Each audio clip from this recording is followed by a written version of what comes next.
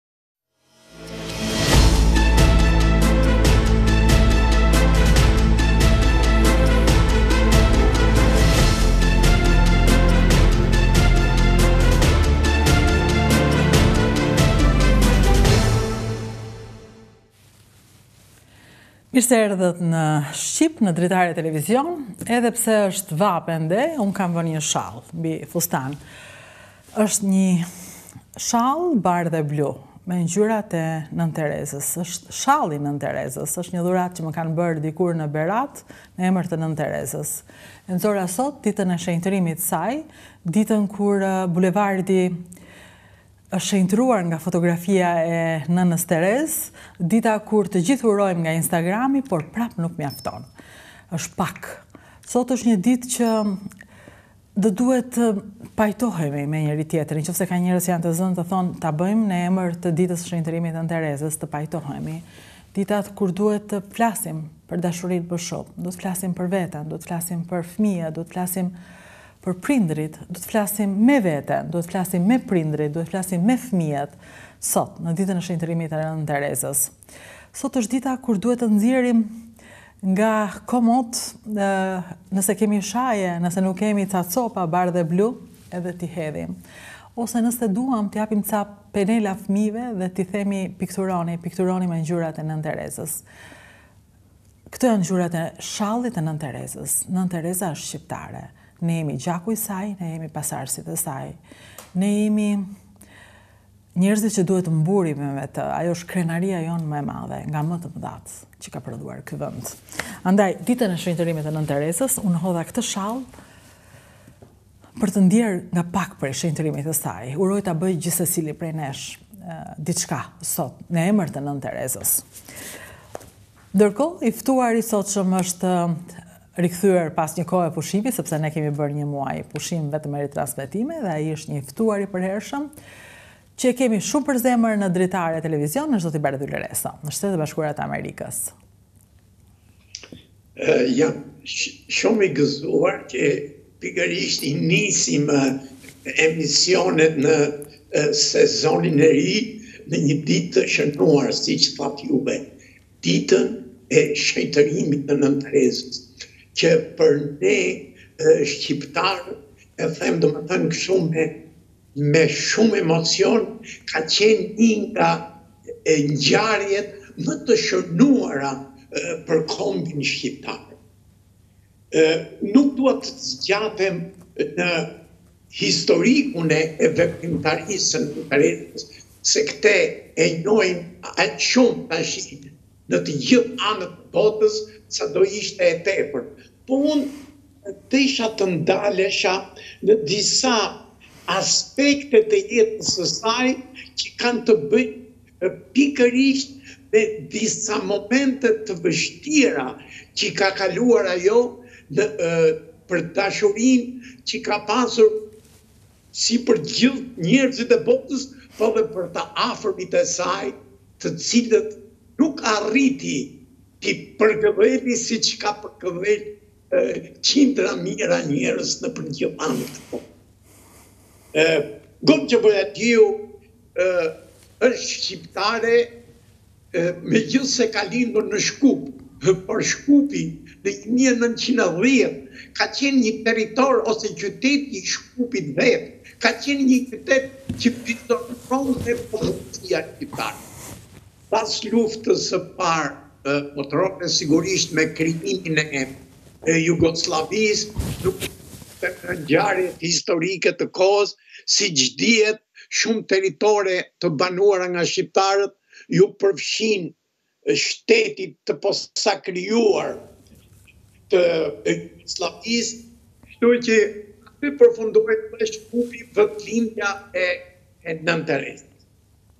Megjithatë, faktet tregojnë se jo vetëm Nën Tereza atë jetën e saj u largua nga Shkupi për qëllimet e saj fisnike, por edhe familja e saj duket nuk e gjente më vendin e duhur në në Shqipërinë e Shkupit, do ta quaj kështu. Po, në fakt, kjo është tamam, në Shqipërinë e Shkupit. Po, kështu që ata erdhën në në Shqipërinë e Shqipërisë. Kështu që motra dhe vëllai i saj erdhën dhe jetuan në Shqipëri. Bilem dua të them që vëllai i i Gonxhes, i Nën Terezës, Lazëri ka qenë oficer në ushtrinë shqiptare në kohën e periudhës së Zogut.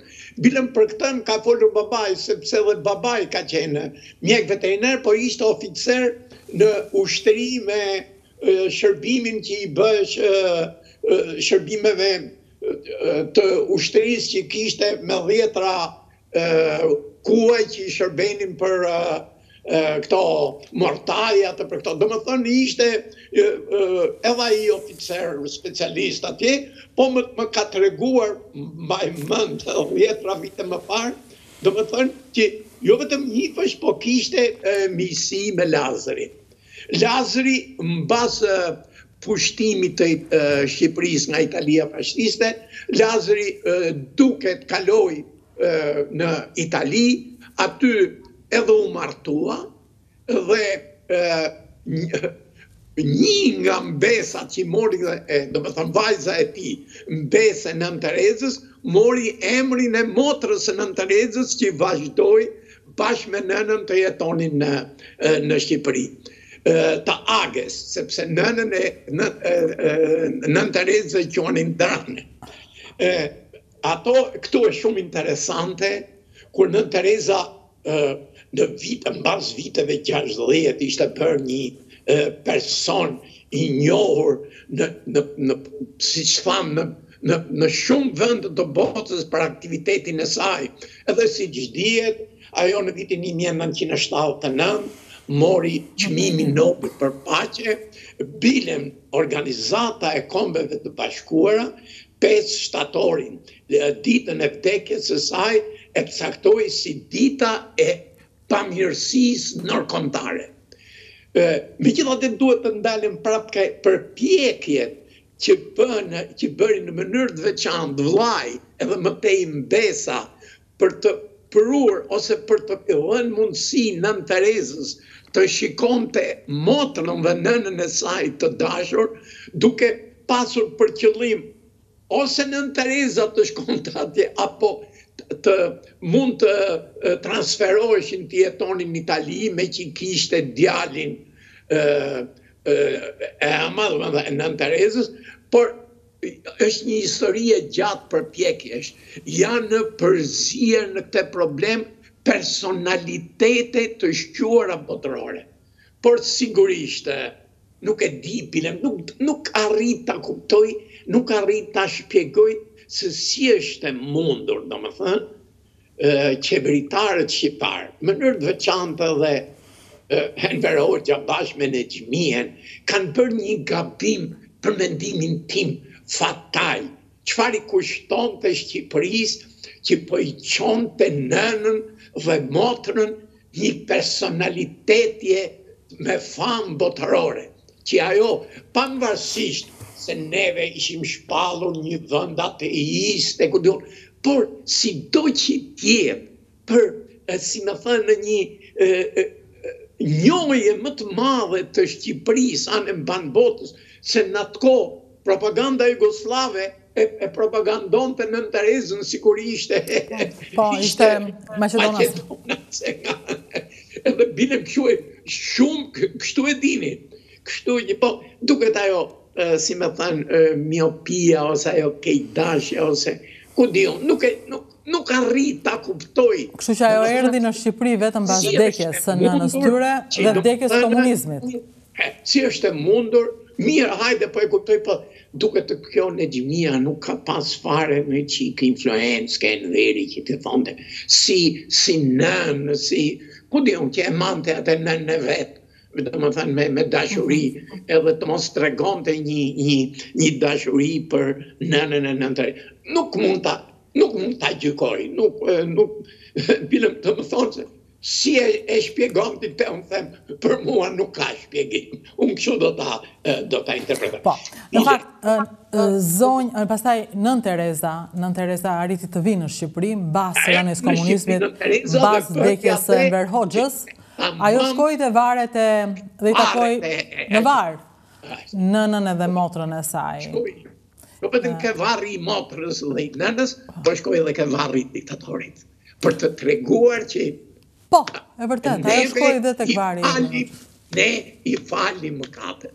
Domethënë për të treguar atë shpirtmadhësinë e saj megjithëse... Në fakt shumë e çuditshme, vërtet, sepse Tani mund të thuhen të gjitha, po e vërteta është që nuk besoj se i është kërkuar të shkojë te varri, ajo ka kërkuar jo, ajo. Jo, ka shkuar vetë, ka shkuar vetë si një fetare, domethënë atë kuptimin e plotë të mhm. besimit që ka, që njeriu duhet të falë, njeriu duhet të falë, sepse falja që bën njeriu sjell paqen dhe mirësinë në botë.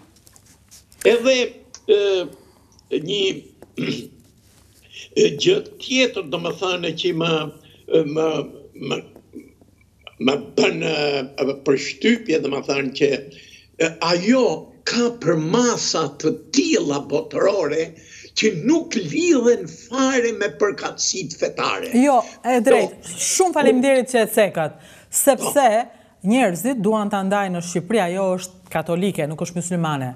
A s'ka lidhje fare? Përtej të qenët besimtare, ajo është grua, ajo është shqiptarja jonë më e madhe.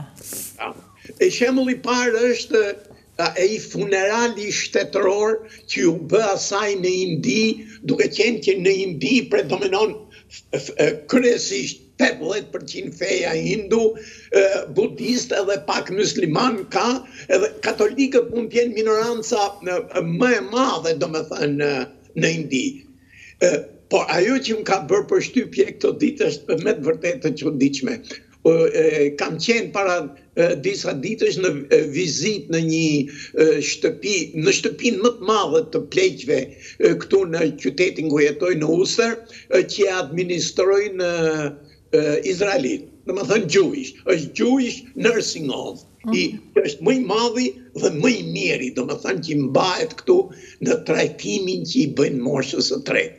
më bëri përshtypje një pankartë e madhe e varur me citate të Nënë Terezës. Mendo, e bëjnë jewish-ët që nuk kanë ndonjë simpati të veçantë për fenë katolike.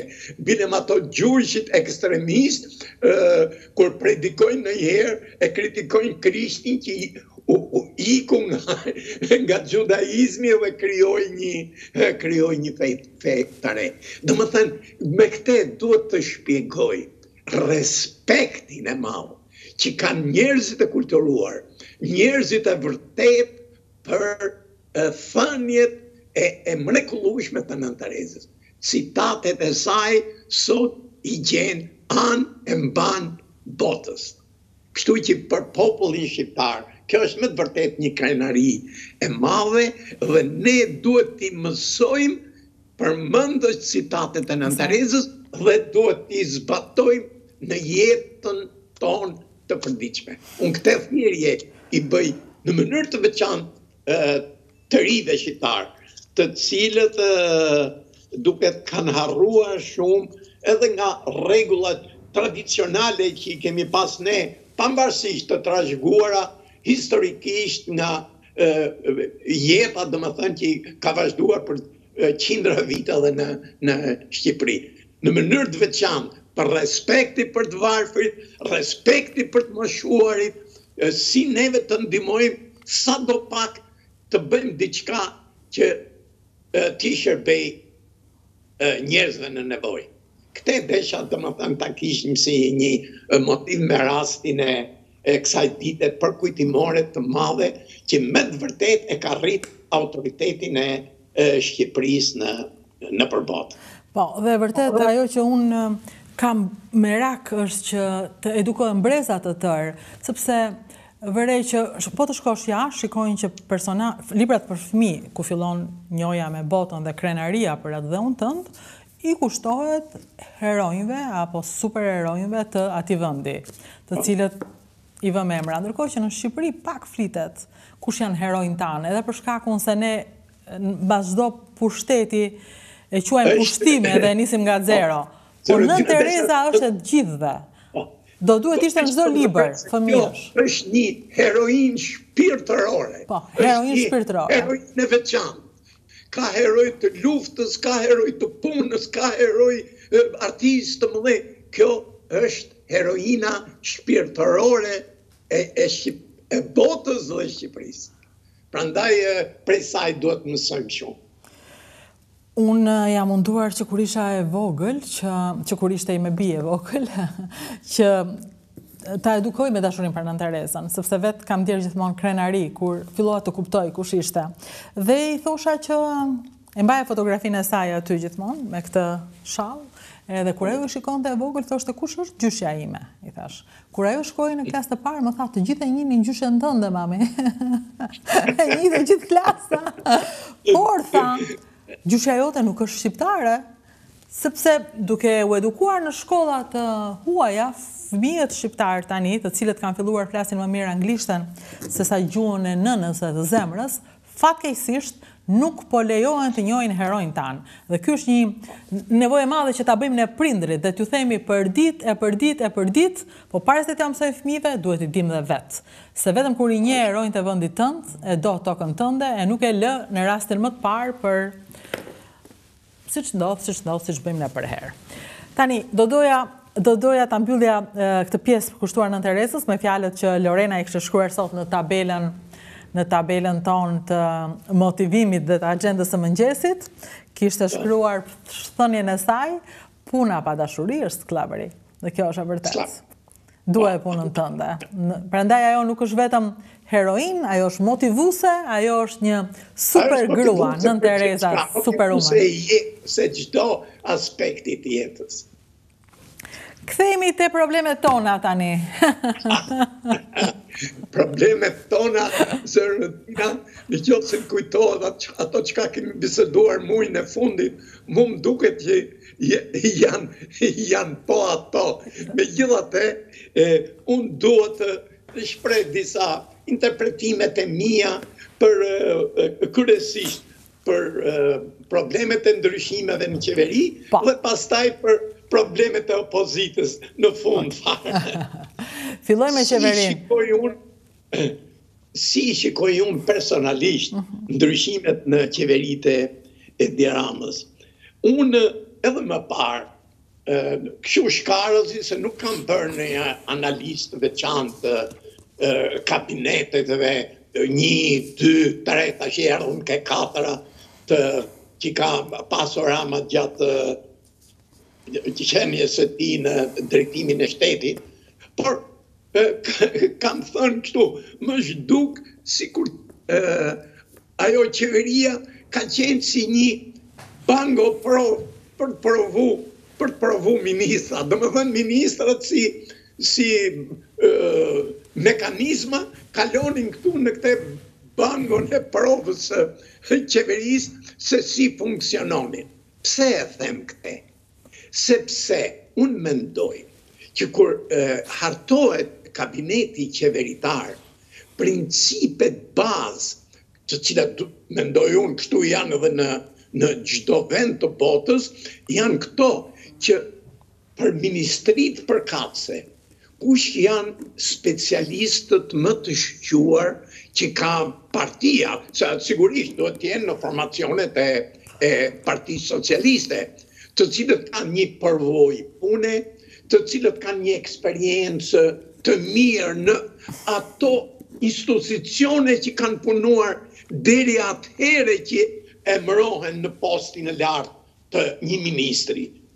Kurse mua personalisht më duket që nuk nuk është vepruar në në domethënë nuk ka pas këto kritere që i gjykoj unë si kritere bazë që kryeministri të ndërtojë një qeveri e cila të jetë prijëse dhe të ketë rezultatet e punës së saj.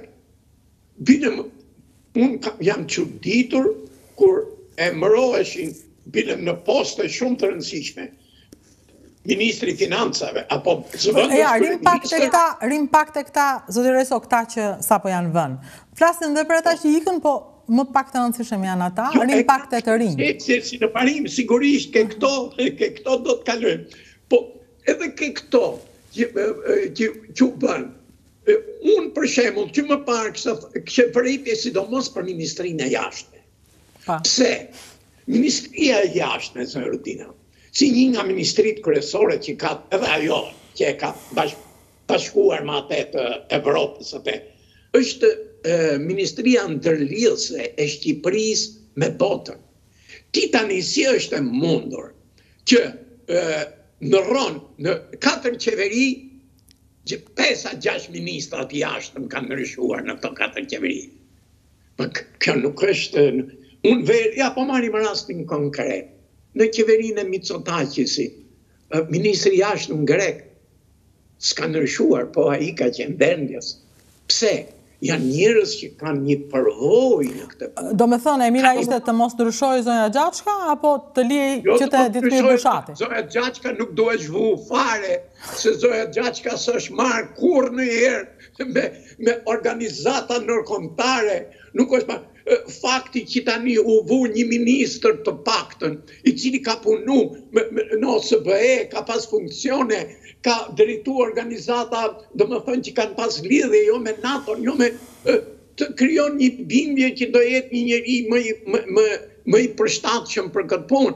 Po dhe ndërrimi i ministrave kështu, është një Nuk është, nuk është serioze, se sado që ato vendimet kryesore edhe për politikën e jashtme Edi i merr vetë, por punët e mrena në ministri, ato vogëlimat, ato që të themi, prapaskenat e ministrisë. Vogëlima, në fakt, e, vogëlima s'janë ato, se janë gjitha ato jetë njerëzish, të cilët po, pra, kanë karriera, të cilët ndikojnë jetë njerëzish të tjerë, Pendrr, megjithëse për ambasadorët me siguri merr mendim edhe nga sigurisht i bën dhe kryeministri, po e kam fjalën ato punët e përditshme ajo i drejton. Kështu që unë mendoj që Ministria e Jashtme duhet të krijojë tani një vazhdimësi, të paktën, të paktën mendoj unë, Të mos ndrrohet më tani. Po, po, një ose dy duhet të jenë ato persona që lëvizin. Jo, lëvizin domethënë, hajde. E njëjta gjë për, për Ministrinë e Financave. Vetë Ministri i Financave një, një njeri që s'është financier, bëhet dhe zëvendëskryeministër. Fati i mirë tani dëgjova që ai që po vjen në Ministrinë e Financave është një person i cili është marrë me probleme financiare të shumëllojshme të ç'kanë ato të kontrolleve financiare. Domethënë është të paktën një njeri që i njeh problemet e financave. më mirë. Gjithashtu, për mendimin tim, nuk më duket e arsyeshme fare, hiqet zonja Manastirliu nga Ministria e Shëndetësisë edhe bihet në Ministrinë e Arsimit. Në qoftë se zonja Manastirliu është e zonja si manaxhere, ajo të rregullojë ato të meta që janë vërejtë me të vërtetë në Ministrinë e Shëndetësisë, që kanë lidhje me kryesisht janë ato tendera që janë përfolur, që nuk e di se sa ka qenë ajo direkt pjesëmarrëse e tyre, sepse ato më duket janë bërë... Gjithsesi, ka diçka në qenien e zonjës Manastirliu që mua më bën përshtypje, që ajo ka qenë menaxhere e mirë, askush nuk e vë në dyshim. Po, për shkak pra, se duket gjendja e menaxheriale e stafeve menaxheriale, po. një lloj vënie nën kontroll. Dhe po. mbase një prej çështjeve delikate që është në Shqipëri, përveç shëndetësisë që do jetë gjithmonë, çfarëdo të bësh shëndetësia është një gropë që s'mbushet, po, kurrë, është arsimi. Arsimi është jashtë loje në Shqipëri dhe dukshmërisht Evis Kushi nuk kishte lidhje. Duhet ta duhet ta pranojmë, shyqyr që e pranuan më në fund. Shiko, Zoti Rudina, po Manastirliu, ka 8 vjet që punon në shëndetësi, jo 8. Mbase do shërojë arsimin. Po, edhe ka qenë edhe punonjëse e shëndetësisë, sigurisht në financa, ku di unë ku ka qenë, po e lidhur me ato. Tashi bie jo, në jo, një sektor... Jo, jo, nuk ka qenë, ka qenë drejtore e QSUT-së, jo. Vjen nga drejtore e QSUT-së, është po, pra, pozicioni mbas bashkisë. Domethënë, ka qenë në... është marrë gjithnjë në spitale. Po. Tani na vjen të na rregullojë arsimin. Atëherë, nuk duhen vënë, thonë jo. Nuk duhen vënë, po, ministra. Zonja Kushi, të paktën, pati apo nuk pati sukses ishte një pedagoge e shkollave të larta, një ku di unë, mu ç'ka qenë atje rektore, zëvendësrektore, ku di unë. Shumë më e njohur se zonja Manastirliu me problemet e arsimit. Ajo mund të ketë Mbase po e çojnë në Elbasan, të merret me Elbasanin se e ka keq, qyteti që është në gjendjen më skandaloze, është Elbasani, mbase po e çojnë të tregojë pak vëmendje të pastrojë qytetin. Dakord, po Unë mendoj që më mirë të qëndronte Manastirliu ke shëndetësia, edhe të vazhdonte, se shëndetësia ka një farë përmirësimi përveç punës tenderave që nuk ka lidhje direkt në atë kuptimin se si po manaxhohet. Puna e tenderave është një punë shumë e ngatërruar, zonja Rudina. Këto tendera janë bërë që në kohën e atij, që në kohën e ish-ministrit, që në kohën e Beqes, këto tendera përfshihen shumë interesa, Kështu që kanë qenë të gabuara, kanë disa gjëra të mira, por kanë qenë të gabuara për mënyrën e pagesave. Se sterilizimi në parim është një gjë e mirë që të bëhet jashtë, por mënyra se si është realizuar dhe pagesat që bëhen për këtë nuk justifikohen.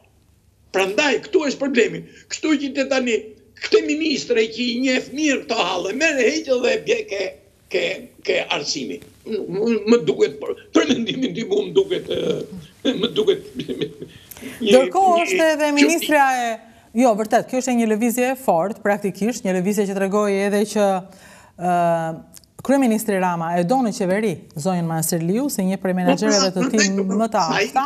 E shikon si një menaxher të mirë, unë kështu e po, gjykova. Po, e shikon si menaxher të mirë dhe e çon në pikën e dobët. E çon në pikën e dobët dhe unë kështu mendoj se ka ndodhur. Shiko zonja Rudina, është problemi që duhet të jesh pak i njojtur edhe me fushën. Nuk mund, domethënë, të kesh punuar njëzet vjet tashi nëpër spitale, edhe të kthehesh tani të merresh me arsimin që ka, arsimi pastaj zonja Rudina ka aq tepër probleme se fillon që nga arsimi parashkollor, edhe deri në arsimin pasuniversitar. Kështu që është një gamë. Arsimi është një, një, një problematikë e fortë. Një prej arsyeve që njerëzit thonë, po iki është po iki, të arsimoj fëmijët jashtë. Po, Shkollat tona, përveç lyerjes fasadës, kanë nevojë për mësusin. Ne kemi nevojë për mësusin, për ta respektuar, për ta nderuar, për ta po, për ta pasur në krye të dijeve të fëmijëve tanë, për shumë të mëdhenj. Me sa kam dëgjuar dhe nga kolegë që takoj kështu, personaliteti i mësuesve është në zero, sidomos në shkollat unike dhe të mesme ku janë ato kanë frikë nga adoleshentët, kanë frikë nga, domethënë është plus pastaj ndërhyrjet që bëhen për notën fiktive, domethënë ka një një në universitet kam pas raste të takoj ish-pedagogë ose pedagogë që janë edhe më thonë që edhe studentët në universitet, domethënë kanë një indiferentizëm që të papërshkrueshëm. Po, e drejtë, arsimi është s'di ku ta kapësh, por ama ka ndodhur ca gjëra të mira, të tipit një lloj unifikimi i teksteve, domethënë nuk është kaq po, rrëmujë sa më përpara, një lloj kontrolli në shkolla, vendosja e rojes së... Zonja Rudina, nuk mund të mohojmë diçka. Fakti një herë që u mbyllën ato universitete që e kishin emrin universitete. Ka akoma për të mbyllur. Ka akoma, ka ngelur ca ende, po dashtë zoti falimentojnë vetë. Sepse vërtet, se koha tregoi që asnjë prej tyre nuk prodhoi studentë, studentët mund t'i prodhonte vetëm publiku. Unë nuk jam kundër arsimimit të lartë, por Shqipëria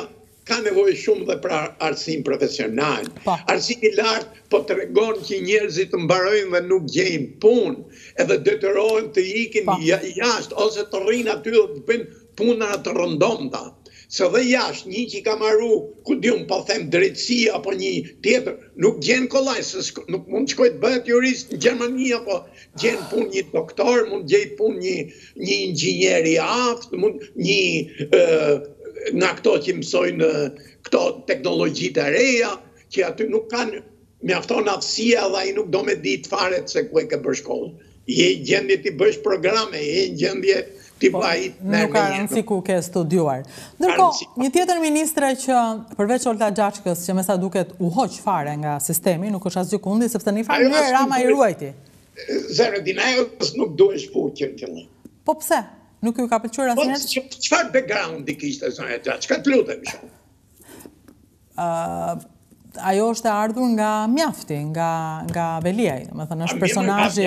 Ajo ka bërë një shkollë, një mm. universitet normal këtu, nuk e di a ka bërë master apo jo, po nuk jam i sigurt, domethënë që nuk kishte ndonjë përvojë, qërë, qërë. Flet anglisht bukur. Basta flet anglisht bukur. Po mirë më po flet anglisht bukur, Edhe nuk ka ndonjë rëndësi shumë në qoftë se flet anglisht bukur, të bëhet ashtu për gjuhën angleze, profesoreshë. Mësuese e gjuhës angleze, ah, okay. Po, zonja Xhaçka. Ndërkohë është Frida Krifca, një tjetër personazh um, i rëndësishëm, sepse bujqësia nuk e di, atë e hoqën se u përfol për problemet e ndërprerjes së fondeve të Evropës dhe ky qe një justifikim se mua më duket se ajo ka qenë shumë aktive në punë, të paktën shumë, me sa e kam ndjekur domethënë. Kështu që në qoftë se ato janë një gabim personal i saj, hajde se pa e shkarkojmë. Por në qoftë se kjo këto ndërprerje nuk janë një gabim personal i saj, po janë gabime që i bëjmë neve gjithnjë në fondet që marrim, në manaxhimin e fondeve që i marrim nga Evropa, nuk e di se si, domethënë, një ministre tjetër e re do të mund t'i rregullojë këto. Po, tani po, është një ministre jo e re në fakt, sepse është hera e dytë e saj, është ish-ministrja e financave, Anila Denaj. Po, prapë se shëra dina, tashi, sigurisht, meqë këtu ka qenë problem fondesh, kjo ministrja e financave mund di t'i manovrojë më mirë në qoftë se ato do rijepen pra, edhe ajo kështu është dukur serioze, edhe në ministrinë e financave nuk ka pas ndonjë,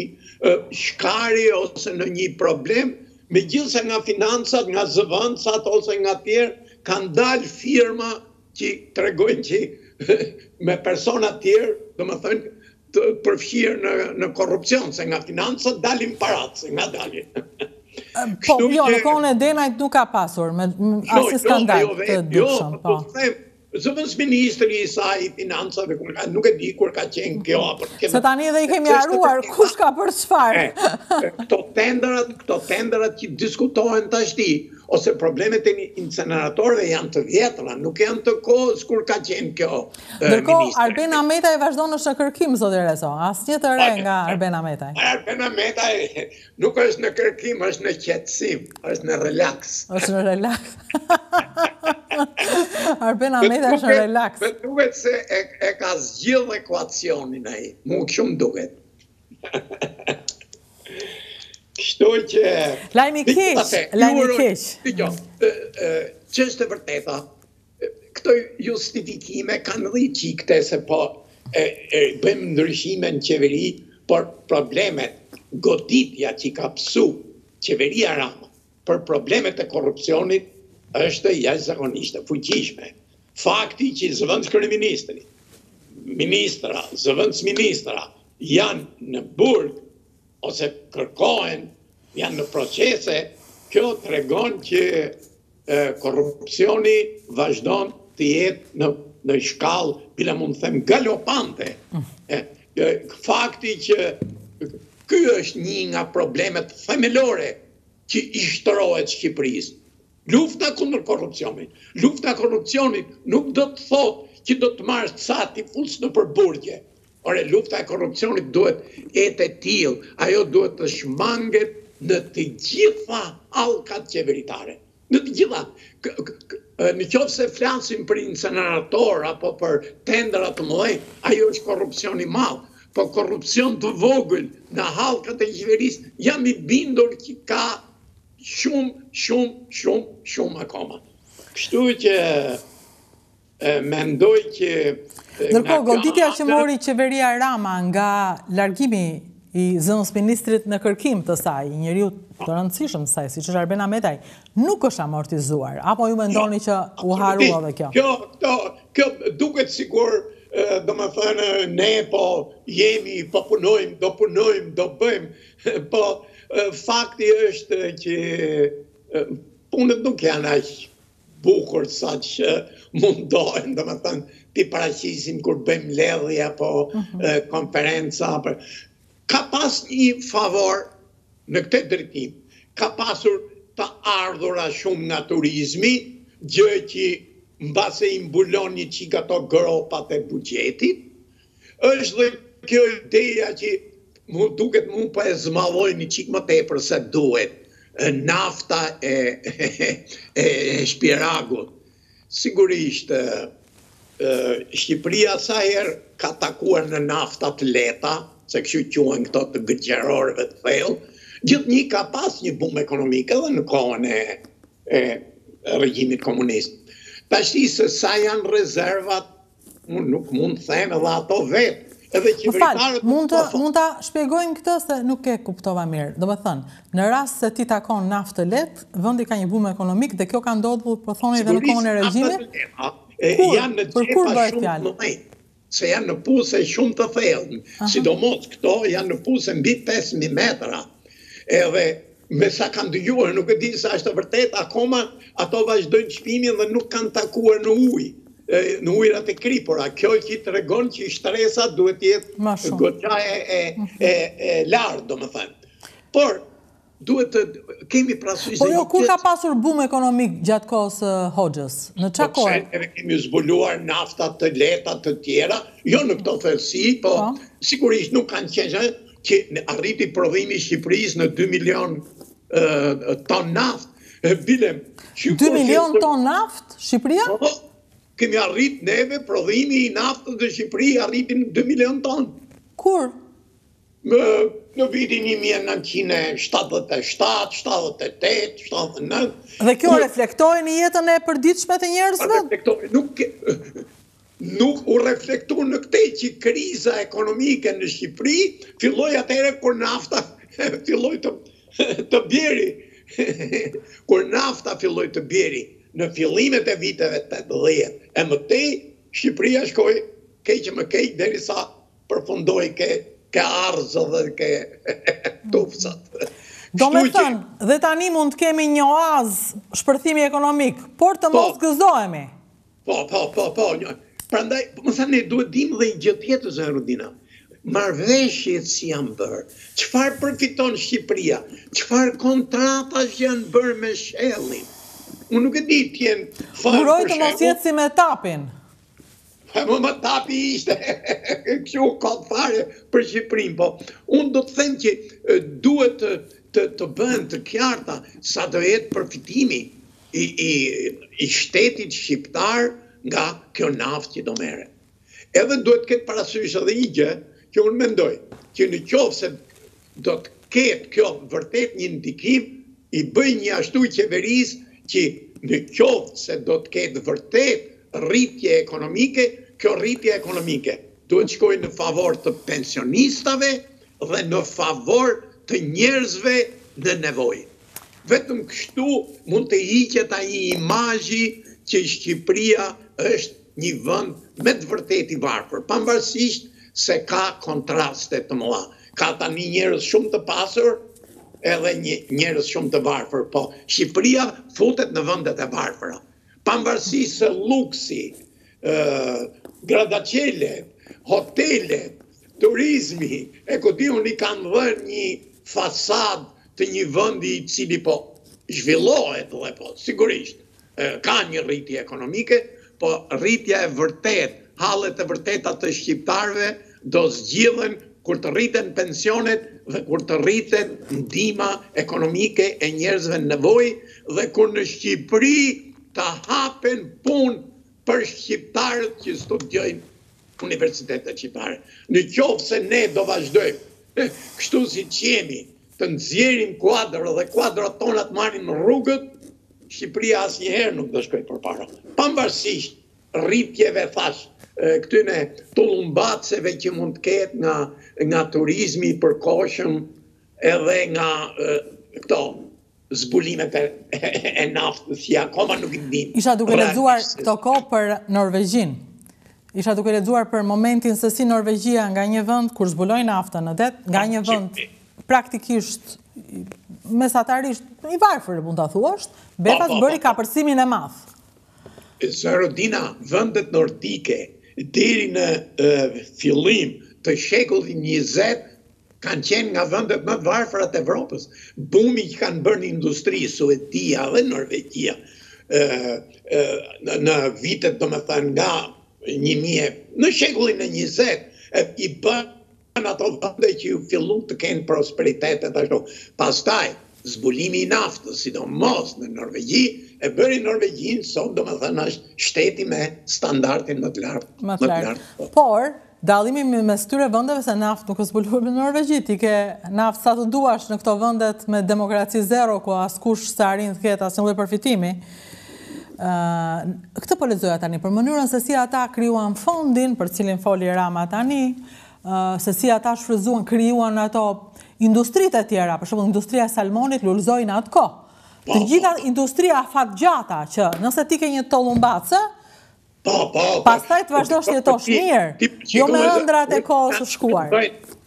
Ç'po bëjnë sot, vende që nuk kanë pas atë si me thënë traditë ti shiko se ç'po bëjnë Emiratet e Bashkuara nafta do të mbarohet ose do të zvogëlohet një ditë ato po i kthejnë ato në vende turizmi Arabia Saudite po bën çudira të themi të drejtën pavarësisht se është një regjim totalitar e ku di unë por mendojnë për perspektivën e ardhshme po bëjnë ndërtime kolosale po bëjnë teknolo industri të reja duke menduar që çfarë do bëjmë neve mbas pesëdhjetë vjetësh apo njëqind vjetësh. S'kemi më naftë, po. Ëndrra që ne asnjëherë nuk i kemi pa në këtë ja. Megjithatë, megjithatë, përtej të gjithave, kjo verë pati dy lajme të mira. Lajmin e naftës, për të cilin nuk jemi të sqaruar plotësisht, por entuziazmi i kryeministrit Nuk mund të jetë i gjithi flluskë, domethënë diçka ai di që po flet në këtë mënyrë. Ka diçka zoti Dina, po. po është puna sa do jetë përfitimi jonë. Po. Po këtë nuk e dimë. Do ta po. mësojmë rrugës, por po. ai ka qenë një lajm i mirë, i dhe lajmi tjetër i mirë ka qenë uh, turizmi. edhe bumi turistik. Megjithëse zoti Dina, neve unë mendoj që krahas reklamave të mëdha që bëhet, neve duhet të kemi kujdes dhe për ato vërejtje që nganjëherë i mbulojmë apo njashtu, sepse mund të kesh turizëm të madh këtë vit edhe vitin tjetër dhe mas dy vitesh ai turizmi të të zbresë është rrit pesëdhjetë për qind të zbresë tridhjetë për qind pse e them këtë ne shqiptarët e kemi një çik do fillojmë të rrisim çmimet këto aksidentet që ndodhin e jo shtypi ato njerëzit në rrugë duhet të rregullojmë duhet të investojmë akoma në infrastrukturë mhm. duhet të jemi më të kujdesshëm edhe në në si me thënë administrimin e turmave turistike E agjenci duhet të kenë një ashtu, mos ketë një bum që të vinë edhe mos kenë vënd ku të gjejnë, edhe pastaj të ngeli një boshllëk. Shqipëria ka një klimë jashtëzakonisht të mirë.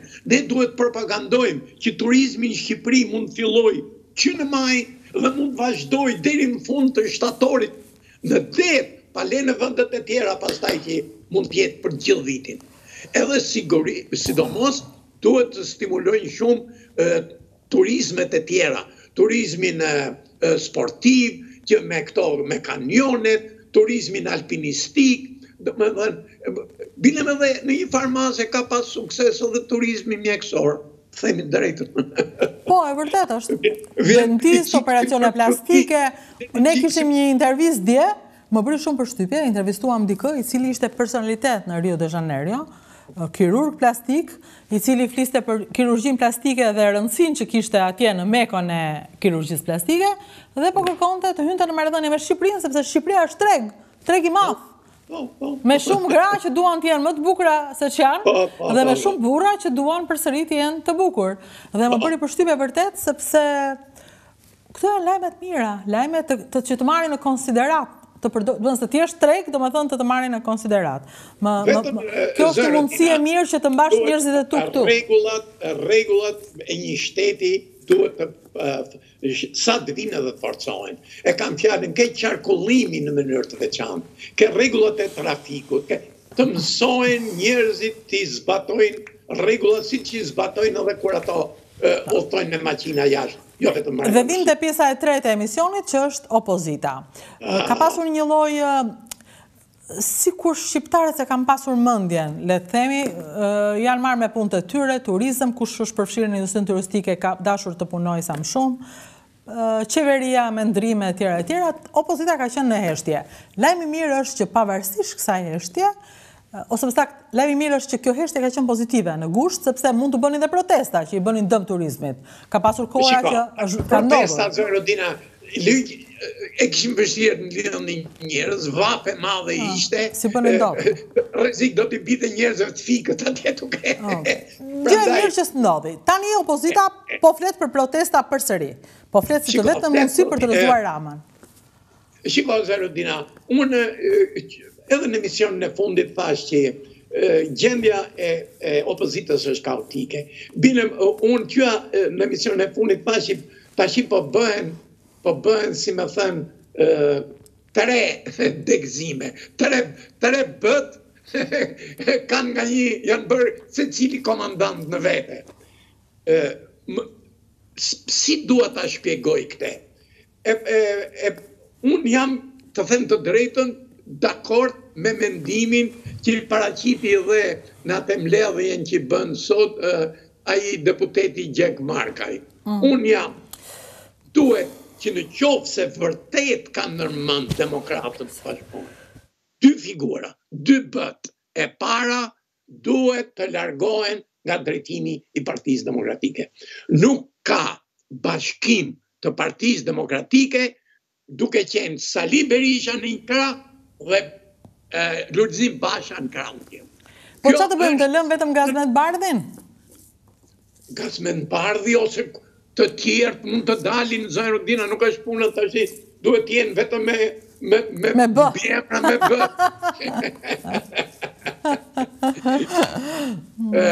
Shiko, duhen duhen të gjejnë një zonjë ta mbledhin mendjen, të gjejnë një zonjë ta mbledhin mendjen. Kë do pëlqeje nga zonjat e PD-s. Nuk do ishte keq edhe një zonjë për mendimin tim, po S'bën dot. Unë edhe një zonjë ashtu tamam nuk po duket në në horizont që të shkëlqejë. Të gjejë një Theçer PD-ja. Pa, pa, po të gjente një Theçer PD-ja. Po, shiko zonja Rudina, atje nuk është vetëm nevoja e pastrimit si njerëz. Atje është nevoja e pastrimit si mentalitet. Është nevoja e pastrimit atë që e kam thënë dhe herë të tjera që ai Bashkim Kopliku i vuri emrin berishizmi. atje duhet hequr ca mentalitete të cilat janë mbrojtur atje edhe kanë zënë, si me thënë, vënd. Kështu që në qoftë se nuk ndërrohen ato ide, ideja e liderit, Ideja domethënë që pakte nuk bëhet do jetë shumë shumë e vështirë. Kështu që Partia Demokratike nuk ka nevojë për një spastrim vetëm, nuk e them spastrim, po them largim nga ato, si me thënë, forumet drejtuese, sepse nuk është, nuk mund t'i themi ne një demokrati që i ka shërby në atë mënyrën e tij, opozitës t'i themi ik se ti s'je më për të qenë në partinë demokratike. Por, lidershipi i partisë demokratike duhet të ndryshojë totalisht. Vetëm ashtu partia demokratike mund të ecë përpara. Si e gjykoj unë këtë veprimin e Bardhit? Bardhi, them unë tashti, në qoftë se shkon në shtratin e e foltores. Po ai ka shkuar, nuk është puna që nëse jo, shkon. Jo, ai ka shkuar, po ai po shkon me idenë e një bashkimi dhe një forcimi të luftës, koordinimi të luftës opozitare. Ai nuk se ato bile kam thënë që unë ato që kam thënë për Berishën, unë nuk i tërhek. Domethënë që ai nuk shkon që të kthehet në mendësitë e Berishës në foltore. Se po të jetë kjo, atëherë, atëherë, atje puna po shkon për më keq. Pse? Se ato nuk kanë përkrahjen e asnjë partie politike evropiane. në qoftë se ato dalin nën siglën e Berishës. Prandaj, rruga e vetme është ato të bëjnë. Berisha u moshua tashti, shumë, edhe po lodhet, edhe thonë që vajzën e paska çu në Gjermani, çunin ku di unë se e ka çu, kështu që në qoftë se i ka siguru dhe ato, Nuk i ka ç'i duhet më tani.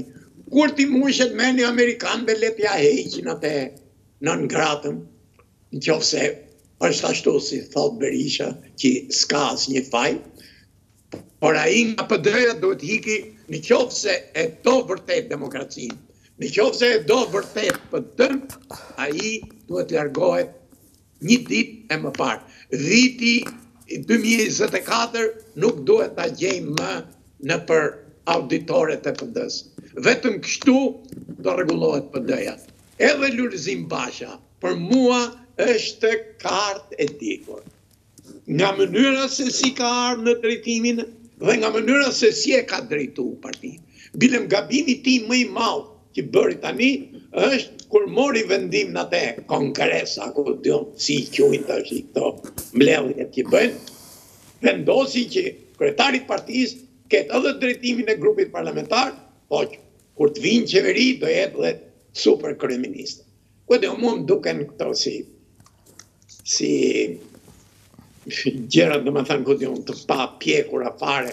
Megjithatë, e, unë e kam thënë dhe herë tjetër, po dhe sot po e them, mos ia heqim, mos ia hamë hakun, nga PD-ja e përzuri ai Berishën. Dhe Berisha është në, në me demokratët, po në PD nuk është. Nga PD-ja patjetër, do dilte një që do ta bënte këtë punë. Amerikanët ia caktuan këtë detyrë këtij. Ky po, ia plotësoi. Po mos e bënte ky do ta bënte një tjetër, se ajo ishte një një detyrë e pashmangshme. Domethënë që nuk kishte kuptim që të ishte deputet i një partie demokratike, një person i cili ishte shpall non grata nga Shtetet e Bashkuara dhe pastaj edhe nga Anglia. Prandaj u fix. Kjo është. E bëri, e bëri. Se do ta bënte. Ndërkohë situata në Shtetet e Bashkuara të Amerikës kanë filluar sheri dhe ethet e presidencialeve. Atje zëron Dina ç'është e vërteta, ë ë edhe këta republikanët kanë filluar disa thonë do ta përkrahin Trumpin nëse ai merr vendim të mos bëjë ca gjëra nga ato gabime që ka bërë herën tjetër. Gjithashtu edhe edhe ke demokratët është problemi. Mosha e Bidenit e E vë një çik në në dyshim atë zgjedhjen e tij si president. Por ato mendojnë që në qoftë se në krahun republikan do përfundojë Trumpi, është vetëm Bideni ai që mund ta konkurrojë Trumpin. Tashi ka dhe një vit e gjysmë kohë. Kanë filluar, kanë filluar këto konferencat e partiake, diskutimet e edhe në kampin republikan ka edhe shumë përkrahës, por edhe shumë kundërshtarë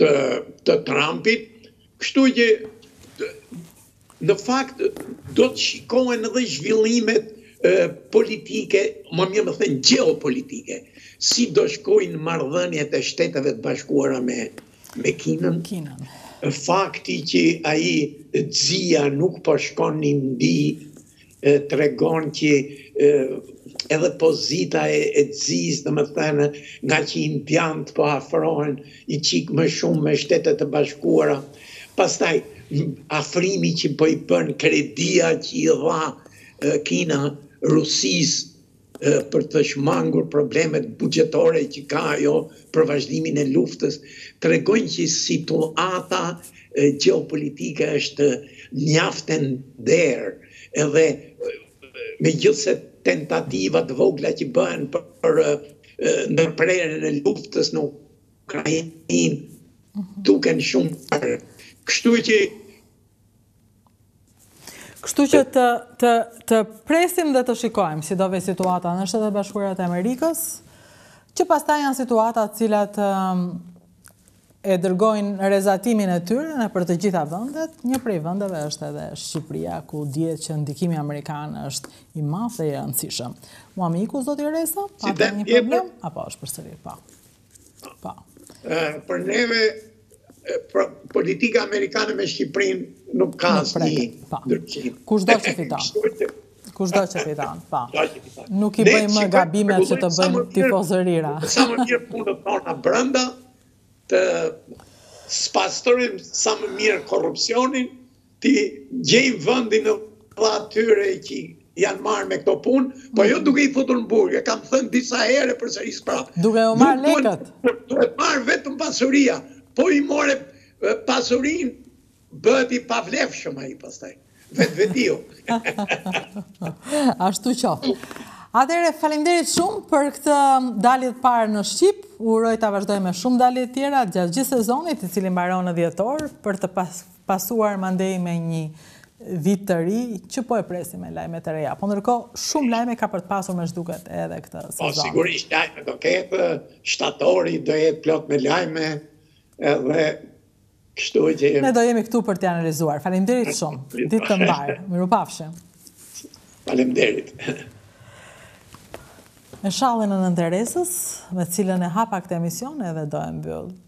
në ditën e shenjtërimit të një nëne të madhe shqiptare, së cilës i përkasim. Jemi gjaku i Nënë Terezës. Mburemi dhe jemi krenarë për këtë.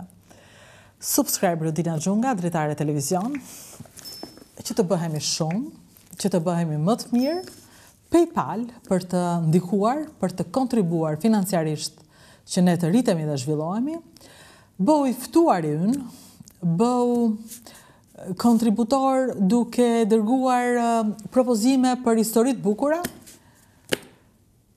bëhu pjesë e Dritares, bëhu staf nëse do, kudo që të jesh. Ne punojmë me shumë prej jush që jeni jashtë vendit, punojmë së bashku, sepse Dritare është ndërkombëtare. Kudo je ti, është Shqipëri. Kudo je ti, është Dritare. Mund të punosh e të bashkëpunosh me ne. Falimderit.